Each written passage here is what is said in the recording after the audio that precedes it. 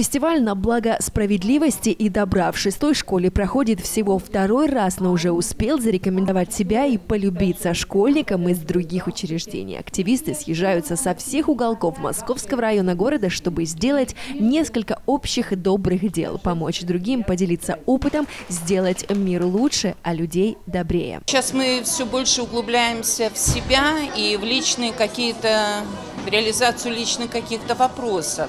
И окружающие не получают достаточного внимания.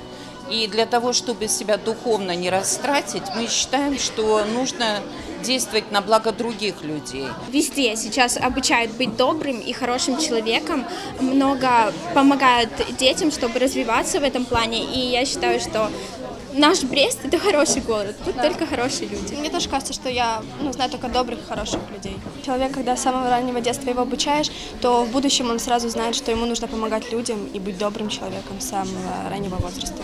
Слет волонтеров совпадал с еще одной особенной датой в календаре – Днем пионерии. Пионерская дружина учебного заведения, она носит имя Марата Казея, пополнилась 15 четвероклассниками. После торжественной клятвы волонтеры старшего звена повязали ребятам галстуки. Из года в год организация растет, и это радует. После для школьников были подготовлены несколько общеобразовательных площадок. Ярмарка здоровья, семейные ценности и традиции, спортивная площадка. В каждом классе каждый ребенок мог найти занятия по вкусу. Волонтером может, во-первых, быть каждый ребенок. Это не обязательно только помощь одиноким, престарелым.